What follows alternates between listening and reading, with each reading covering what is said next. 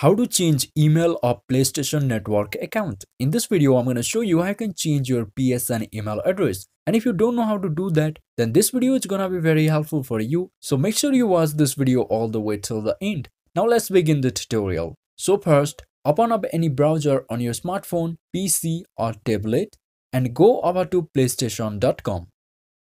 And then click on sign in. Now sign in to your PlayStation Network account using your email and password. So let me do this real quick.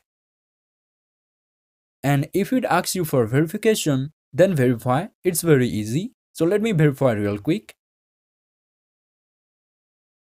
Once you signed into your PlayStation Network account, here in this page, click on support and then click on PSN status. And in this page, scroll down and click on manage account. And if it asks you to sign in again, just sign in. Again, let's verify.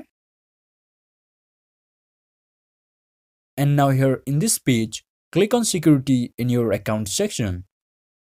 And here you can find your sign in ID or email address. As you're gonna change it, click on edit next to it.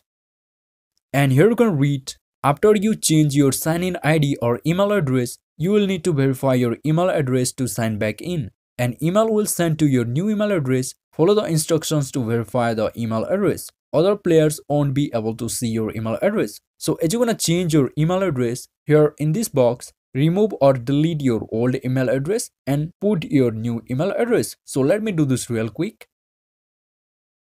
So after replacing your old email address with your new email address, click on save.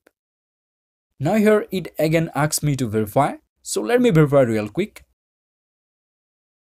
And here going to read a verification email has been sent to your new email address. Follow the instructions in the email and verify your email address and then sign in again. So now here click on OK and check email inbox of your new email address that you have just recently added. So let me check my email inbox real quick.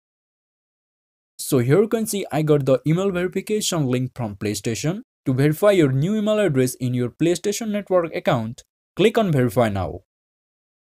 And here you can read your new email address has been verified and now you can sign in to your PSN account using your new email address. And this is how you can change email address of your PSN account. And if you found this video helpful, do me a big favor by hitting that like and subscribe button. And if you want to change your PSN name or online ID, then watch this video and I will see you in the next one.